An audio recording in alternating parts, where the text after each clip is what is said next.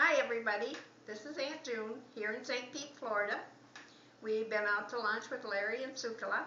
Then we came home and we went down and we picked up Ruthie. And this is Ruthie. And this is Soukkhalak, Larry's friend.